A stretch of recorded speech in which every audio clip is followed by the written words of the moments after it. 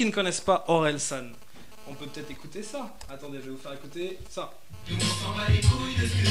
Ça c'était différent. Dans le même monde, on est différents. Je suis resté beaucoup trop longtemps à serrer le banc. Si je rentre sur le terrain, c'est pour mettre une boîte à mon coach.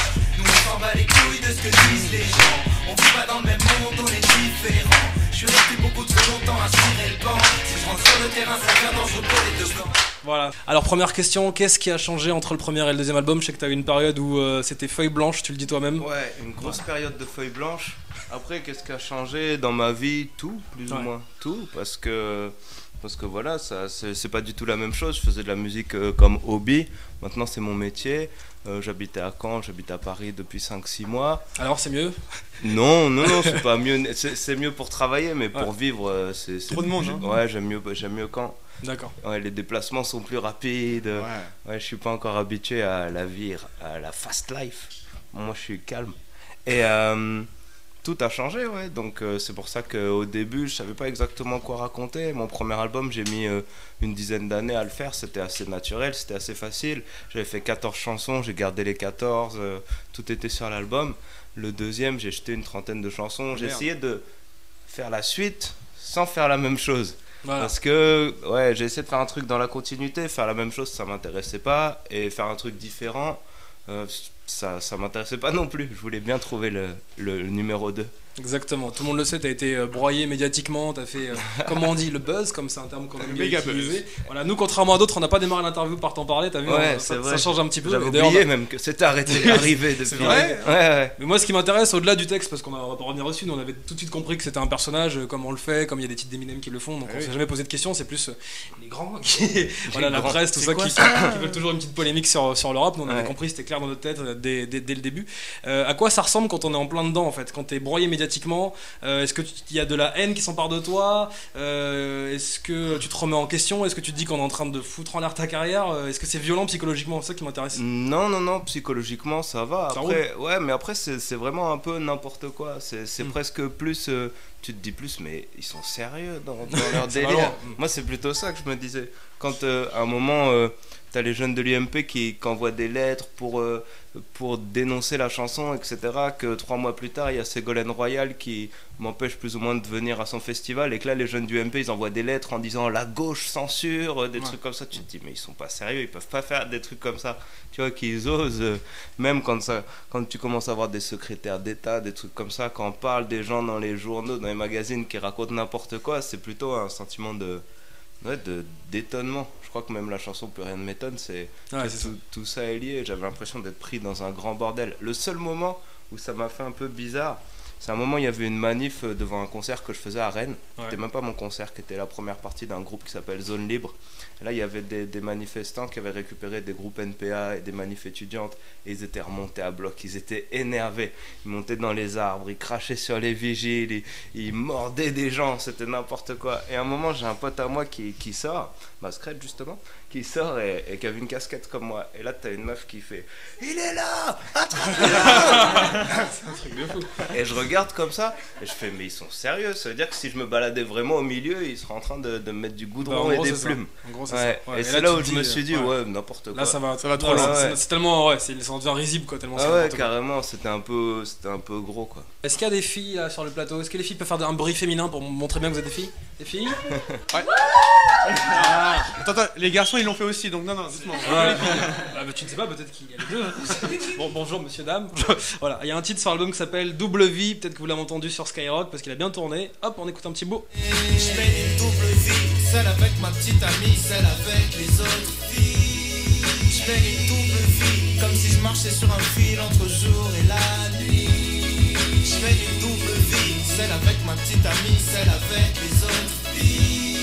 Je mène une double vie, sais déjà comment ça va finir. Mal. Voilà, ça s'appelle Double Vie et euh, là tu mets le point, tu mets le point sur un sujet très sensible. Oui. Et tu sais que même à Sky, euh, les SMS quoi, parce qu'on a toujours des SMS, t'as vu comment ça se passe à Planète Rap qui Mm, mm, défile. Il y a beaucoup de filles qui étaient gênées, tu vois, il y a des garçons qui étaient un petit peu gênés. Ouais. Donc t'as fait un morceau qui dérange parce que finalement, euh, voilà, il y en a beaucoup qui sont concernés. Ouais, Notamment dans cette il y a pièce, bande de Il y, a salopes. même des, il y a même des gens qui m'ont appelé, qui m'ont dit pourquoi t'as raconté mon histoire? Bah ouais. Ouais, des, des, des, des, des gens qui ont appelé des potes à moi, qui ont dit Ouais, pourquoi tu lui as dit euh, Maintenant, il a fait une chanson dessus. Mais non, c'est un truc, ça nous arrive tous et tout le monde fait ça. Et quand on me dit même euh, Ouais, les filles étaient gênées, les filles font pareil. Je suis un gars, pire, donc, je raconte ça. mais Mais du coup, le- la, prod, le morceau, du coup, il est super léger, mais au Ouais. final, c'est super grave ce que tu racontes Ouais, dedans. ouais, carrément. Euh, il Est-ce que c'est autobiographique ou bien c'est le personnage encore Non, c'est des trucs que je connais, j'ai déjà Bien fait sûr. quelques conneries. Mm. Après, la façon dont c'est raconté, l'histoire en entier, il y a toujours des petits bouts de fiction, de trucs. euh, c'est pas Et surtout, faut savoir, au moment où je chante la chanson, c'est pas forcément le moment où je viens de l'écrire. Genre, je suis pas en train de vivre. Genre, ce soir, je vais pas aller euh, commettre de crime. Ouais, il y a un moustique, hein, voilà, c'est un moustique qui met 30 visites. Tous les fans, même les moustiques sont là. Ce soir, je vais pas aller commettre de crime, mais euh, c'est des choses que je connais. Tout le monde connaît ça. Exactement. Et, Et puis il y a un- il y, a un autre titre également euh, sur l'album. Alors bon, moi c'est mon favori. Il, a, il a même été clippé. C'est Suicide Social. Ah, ouais. Allez, un petit bout de Suicide Social. Vous avez peut-être entendu parler du morceau là sur le net, ça a bien buzzé. Adieu tous ces gens prétentieux dans la capitale Qui qu'ils valent mieux que toi chaque fois qu'ils te parlent Tous ces connards dans la pub, dans la finance, dans la com, dans la télé, dans la musique, dans la mode ces parisiens, jamais contents, médisants, faussement cultivés, à peine intelligents, ces réplicants qui pensent avoir le monopole du bon goût, qui regardent la province d'un œil méprisant. Voilà. Suicide Social quand même, Orelsan. Hein. J'aime bien parce que quand les gens ils font écouter cette chanson, ils choisissent le passage en fonction Son de, passage. ouais, de la Exactement, nous on a choisi le passage parisien. Ouais. Exactement, ouais, bah, parce que tout le monde en prend euh, plein la gueule. C'est un personnage qui s'exprime, c'est un mec qui en a marre de la vie. De toute façon, il se suicide à la fin. Voilà. Euh, exercice de style. Moi, j'aimerais savoir comment tu l'as écrit ce morceau. Personne t'a posé cette question. Je veux savoir dans quel contexte tu l'as écrit. Ouais, j'ai mis du temps à l'écrire déjà. À la base, euh, ce que je voulais vraiment faire, c'était un morceau sur euh, les problèmes de communication. J'ai remarqué qu'il y a plein de gens de qui avaient des clichés sur des couches de gens et qui faisaient partie d'un certain groupe de gens qui aimaient pas lui, qui aimaient pas lui, qui aimaient pas lui.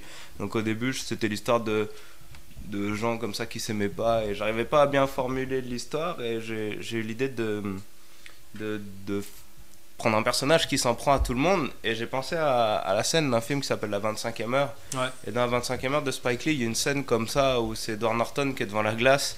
Et donc je me suis dit, ah, ça serait peut-être pas mal de faire un truc euh, dans ce délire-là où ce serait quelqu'un qui est énervé contre tout le monde parce qu'au final il se déteste lui-même. Et donc ça m'a aidé à, à structurer un peu la, la forme du truc. Après, au niveau, de, au niveau des paroles, c'est euh, la vie de tous les jours. En fait, ce qui est marrant, c'est que tous les gens dont je parle, c'est il y a beaucoup de parties de moi-même déjà, Ouais. et il y a beaucoup de gens euh, que je connais, que je fréquente, et, et quasiment tous mes amis se retrouvent un peu dans, dans le style de gens que je, que, que je décris, donc euh, c'est la vie de tous les jours. Ouais. T'as un titre sur l'album qui s'appelle 1990, t'en as un autre qui s'appelle 2010. Donc Orelsan, s'il y aura pas en 90, ce qui n'était pas possible puisque tu es né en. 82, si, J'aurais j'aurais pu, ra- ouais. j'aurais rappé Ouais, à il 8 est ans. Ouais, j'aurais rappé à 8 ans. Lil Oreille. Exactement. Et le titre il ressemble à ça, c'est ambiance San. 1990. Lil Lil San. San, c'est pas mal. Passe-moi mi, que je me serve de ma tête comme le but de Basil Body Que je pick up, pick up, one love à tout mon possi Je traîne avec plus d'étoiles que si j'étais dans Shinobi Quand tu vois nos styles dans nos vidéos clips Les Wiggly Wack MCs font leur valise comme gros quick Tout va trop vite, nouvelle technologie Bebop, tattoo, tam tam, copie Ça c'est 1990, c'est son Orelsan. Là tu peux taper un délire, tu t'es tapé un gros délire au niveau du clip, euh, voilà, on t'a retrouvé, t'as fait un tour sur eBay, t'as- comment t'as Ouais, ouais, ouais, Ouais. Ça, ça faisait super longtemps que je préparais les clips et le morceau, ça faisait 6-7 mois. Donc euh, le bon coin, je faisais des vides greniers le Ah ouais, dimanche. ok. Ouais. Euh, et puis euh, je, je regardais un peu autour de moi les trucs qui traînent et Cash Converters aussi. Voilà. Ok. Pourquoi il n'y a pas de Game Boy? Il manque que ça. Parce que en fait la Game Boy, j'avais tellement mis dans les autres trucs avant que je me suis dit oh je vais pas ressortir des même les jeux vidéo vintage. euh, Ah, il manque. Ouais ouais ouais mais j'en avais mis plein et du coup je me suis dit ouais je vais, je vais lâcher les jeux vidéo vintage 3 secondes. Alors Orelsan, est-ce que tu es plutôt 1990 ou 2010 Tu vas devoir répondre au tac au tac. Je te laisse avec Romek, c'est le questionnaire Romek. Cool. On va voir si t'es un mec à l'ancienne ou si t'es bien dans notre époque. Ouais. Su- Super Nintendo ou Play 3 Euh, Play 3. Ah, quand même. Ouais. Question personnelle, FIFA ou PES PES. D'accord, ouais. Bon. Euh, t'es. euh, t'es FIFA, mais dis-le, t'es FIFA. Non, mais c'est pas grave. Non mais j'ai Pas j'ai- d'accord, on j'ai est pas même d'accord. jamais joué à FIFA. si C'est tu veux pour tout ça savoir. que tu, tu, Bah, viens, invite-le, c'est je vais à possible. FIFA. tu viens ce soir, après on ira. Euh, t'es plus mixtape sur MP3 ou sur cassette audio? Qu'est-ce qui a le plus de charme M- MP3, le- évidemment, Ah ouais. le- t- tous les trucs vintage ont plus de charme, mais je- franchement, les cassettes dans le Walkman et les, c'est- les mini-disques et tout, c'est relou. Ouais. Ouais, mais c'était le son. Ouais, ouais, ouais, ouais, mais c'était pas pratique. D'accord, d'accord. non, c'est clair. Euh, t'es plutôt le rap des années 90 ou 2010 Euh, Oh Un peu des deux. hein, Un peu des deux. des deux. Ok. On va dire 2000 entre les deux. Non, 2000, 2000 c'est pas la meilleure. C'est la pire. Non, il y a des trucs, hein, genre ouais. Timbaland, Neptune, c'est c'était top. bien. D'accord, tu es plutôt tatou ou iPhone? iPhone. Ça te manque pas Ça te manque pas? Ah Le non, tatou le fait d'aller dans une cabine et rappeler pour dire qu'on me rappelle que je rappelle, non. La Alors pour ceux qui nous regardent, parce que tu sais Oui, qu'il il y a beaucoup de qui ont 15 piges jeunes. qui le regardent. euh, Alors voilà. le tatou c'est pas un tatouage, non, Non. non, c'est- c'était un petit truc. euh, C'était bizarre en fait, c'était Ouais. une série de chiffres et euh, ça bipait, voilà, c'était les téléphones portables euh, old school quoi. Ouais. T'es plutôt euh, lecteur cassette vidéo ou Blu-ray maintenant Blu-ray. Ah. Moi j'ai- j'aime j'aime beaucoup la technologie. Alors on va voir. Le Roi Lion ou l'âge de glace Oh, le 3D. roi- Le roi lion. quand 3D même. avec les ouais, effets. non, le roi Tu lion. vois, là, tu Mais reviens l'âge de avec- glace c'est cool aussi, mais le roi lion c'est plus. C'est euh, classique. Le. Roi Lion en 3D alors. T'es- tu préfères euh, Nulle part ailleurs à l'époque ou le Grand Journal d'aujourd'hui? Euh, nulle part ailleurs. C'était mieux. hein. Ouais, j'aimais bien de connaître. Ah, c'était très drôle. Ah, Ministère- Bonjour Michel. Tu es plutôt 3615 ULA ou YouPorn? YouPorn. 3615 lui là c'est des, des pixels. Madonna ou Lady Gaga Euh, je- Madonna quand même. D'accord. Les guignols de l'info ou Norman fait des vidéos Les guignols de l'info, mais j'aime beaucoup Norman, mais c'est pas pareil. Les guignols de l'info, ils ont 25 ans. Ouais, ouais. C'est pour ça, c'est pour ça. Norman a 25 ans. Ouais, Norman a 25 ans aussi. non, mais pour- et, et- et je kiffe Norman. hein. Oui, tu as fait une apparition. on a vu. Ouais. Tu es plutôt télé ou web real TV Oh, réponds bien. Euh, web Real TV. Est-ce que tu peux euh, nous expliquer le featuring avec Jenali Certains de tes fans n'ont pas C'est forcément c'est compris. vrai qu'on me demande souvent Mais ils sont ça. potes, vous êtes potes en fait, c'est pour ça. Ouais, on se connaît, on se connaît depuis euh, il y a 8 ans, depuis avant qu'on fasse donc qu'on signe en maison de disque. Elle avait même fait un remix de Saint-Valentin à l'époque. C'est Ouais. comme ça que j'avais connu. Elle m'avait envoyé ça sur internet. J'avais fait ah ouais, tu fais. Et en fait, elle commençait à faire de la musique et moi aussi. Et on s'était dit on va faire un titre ensemble. Et je savais en le faisant qu'il y avait plein de, de gens qui me suivaient qui allaient pas suivre le truc. Ou Mais pas comprendre en tout cas. Ouais, mais moi j'ai pas de, j'aime pas trop les, tu vois les, les, les cases, les trucs, donc j'ai pas d'a priori sur personne et je trouve que ce qu'elle m'avait demandé c'était de faire l'histoire d'un gars qui était avec une fille mais qui était pas vraiment dedans. Je trouvais que ça me correspondait donc euh, j'ai fait un peu euh, ce que j'aurais pu faire euh, n'importe où d'autre. C'est ça. Et puis ce qui est cool, c'est qu'Aurel il aime toutes les musiques, il a bossé pour Luce, tu sais, la grande de Nouvelle Star. Ouais, ouais. Voilà, de- donc t'es pas fermé, La machine. Bah ouais, exactement, la machine. Ouais. bien Toi, t'as- euh, ah, Petit sondage alors. Apo- Apocalypse le- et la machine on a La fait ensemble. machine. Ou C'est quoi votre titre préféré sur le chant des sirènes? Moi, c'est double vie. WI Euh, moi je dirais suicide social. Ok. Ouais, j'aime tout, moi j'aime l'album. moi. Ouais, Merci. tout. euh, vraiment. C'est Merci. compliqué, c'est de la triche. Exactement. bon, écoute. euh, Mais moi j'ai une question sur l'album euh, Vas-y, vas-y. personnel. Ouais. Quand tu parles de la petite chinoise là, Ouais. tu l'as vraiment vue Tu la connais? Non, non, non, Non, non. il s'est En fait, celle, celle qui Ah, chante, dommage. celle qui mais non, chante, c'est dommage. Non, mais c'est. celle qui chante sur le refrain, je la connais. D'accord. C'est- une chinoise que Bistrit. je connais, qui est photographe, gna, qui, bosse pour le magazine, enfin qui fait le magazine Bistrit d'ailleurs. Big Il y a, up, des- il y a eu des t-shirts collector d'ailleurs. Ouais, euh, on a fait une série limitée, vous pouvez aller sur bistrit.com. Voilà, on les a reçus avec Benny, tout ça, on leur fait un big up s'ils regardent là. Ouais, ouais, ouais. Et du coup, c'est. Non, non, c'est une histoire euh, inventée, mais, euh, Mais mais vrai. c'est le genre Ouais. de truc qui arrive à tout le monde tous les jours, de croiser quelqu'un dans le métro et de pas euh, faire attention. Toi, t'as voulu construire une histoire autour quoi. Ouais. Voilà. Toi, des retours que t'as, les titres préférés sur l'album, euh, qu'est-ce que- qu'est-ce qui Ça, ça dépend des goûts, justement. J'ai fait un album assez différent avec. euh, en fonction de son humeur et de ses goûts, on peut y trouver un- à boire et à manger, donc euh, ça dépend des goûts. Et toi, tes titres préférés? Moi, en général, c'est les derniers que j'ai, les derniers que j'ai fait que j'ai le mieux. D'accord. Mais j'écoute pas, j'écoute pas trop ma musique. Je l'écoute un peu avant que ça sorte pour être sûr, pour voir, mais sinon, j'écoute pas. Alors, qu'est-ce qu'il y a Mais- sur le baladeur MP3 de Orelsan justement? Euh, tu es un baladeur ou le. Le Ah, cassette Tu l'as T'en as un Ouais. Ah, Alors, baladeur si vous cassette. voulez tout savoir, le dimanche, j'écoute de la musique romantique. Juste le dimanche Oh. Le dimanche, j'écoute des chansons d'amour. Là, j'écoutais Craig David. D'accord. Et Ah le, ouais, ça- le- le deuxième album, Silica Than Average. Ok, d'accord. Ouais, donc Ouais. c'est un lover.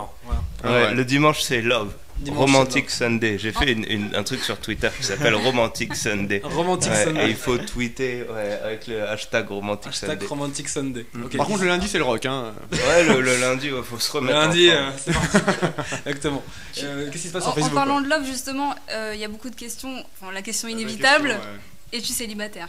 Non, je ne suis plus célibataire. Depuis Ouh là là, quand? Tu viens de briser le cœur Ouais, mais dans tes titres, tu dis que de toute façon, tu peux céder à la tentation.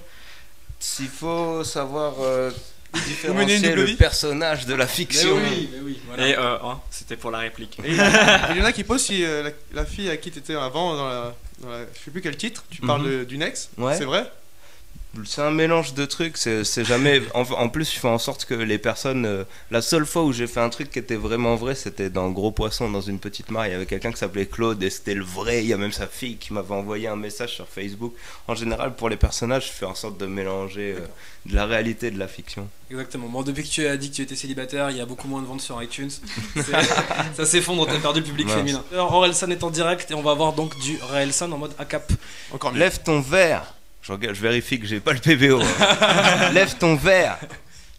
Santé, je porte un toast à la mort de l'industrie. Sortez les 8-6, on vient fêter la fin du disque. Écoutez la radio, c'est devenu un supplice. Sauf que j'aime pas non plus les putains de puristes. Musique rétro-futuriste, la bande originale des aventures d'Ulysse. J'habiterai dans les abysses, j'aurai pas plus de pression. Tout ce que je veux, foutre le feu dans ma ville. Néron, donner mon corps à la science inclut la dissection des jours entiers. Je récite mes sons tourmentés dans une pluie de questions. Rien qu'en un an, ça m'a saoulé. Je voulais tout plaquer, quitter le son. Presque abandonné sans faire ma deuxième livraison. Ah, mais bordel, j'ai fait le plus dur. Autant tenter un salto avant d'échouer au pied du mur. Je suis de retour avec ma sous-culture. Ouais, sauf que c'est nous le futur, hein? J'ai retourné l'opinel entre les points de suture. Ils ont la censure, plus tard on aura l'usure. Plus tard on ira danser sur leur sépulture. Le chant des succubes, au bord de la luxure. Sans possession, les sentiments sont plus purs. Voilà pourquoi j'écris des chansons de rupture.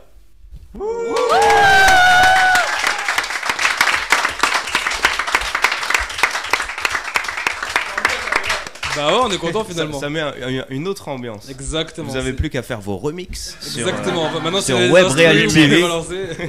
ça, ça va être comme ça. Est-ce que t'as hâte de reprendre un petit peu les routes de France, d'aller voir ce qui se passe sur scène, tout ça Ouais, à fond. Ouais. fond, T'as à déjà des idées, des concepts allez voir ce qui se passe sur scène, ça m'intéresse pas. Faire des concerts. Faire des scènes, ouais, voilà. Ouais. Ouais, ouais. Euh, ouais, ouais, carrément, à mort. Là, en plus, euh, on a le Bataclan le 14 décembre. Euh, je vais jouer avec des instruments. D'accord. Donc très bien. il- là, je finis un peu ma promo, aller, aller représenter mon disque, aller faire de la pub pour le disque. Et après, je fais que de m'enfermer en studio, bosser.